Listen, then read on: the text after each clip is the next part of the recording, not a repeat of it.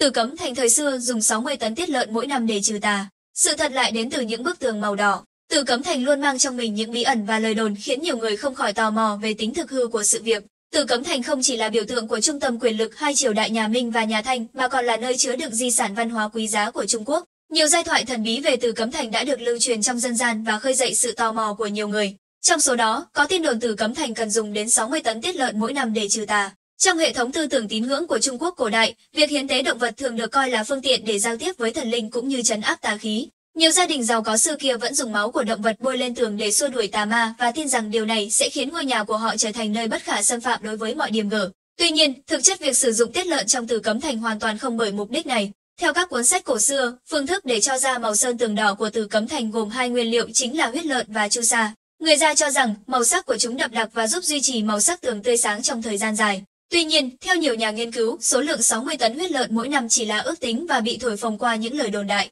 Đến thời điểm hiện tại, người ta đã không còn sử dụng cách thức này để trùng tu lại bức tường thành mà đã chuyển sang những phương pháp hiện đại, thân thiện với môi trường, an toàn cho du khách mà vẫn đảm bảo giữ được gần như nguyên vẹn hiện trạng của Tử Cấm Thành. Mặt khác, là một di sản văn hóa có lịch sử lâu đời, Tử Cấm Thành cũng thực sự tồn tại nhiều nghi lễ xua đuổi tà ma và cầu phúc trong suốt chiều dài lịch sử của mình. Ví dụ, như việc thiết kế cung điện cổ tuân theo các nguyên tắc phong thủy nghiêm ngặt để đảm bảo sự ổn định của hoàng quyền và hòa bình của Giang Sơn xã Tắc. Đồng thời, các lễ hội quan trọng trong cung đình như Tết Nguyên đán, Tết Đoan Ngọ, Tết Trung thu sẽ tổ chức các hoạt động thờ tự, cúng trời đất, tổ tiên, xua đuổi tà ma, nhằm mong ước một cuộc sống hưng thịnh, bình yên.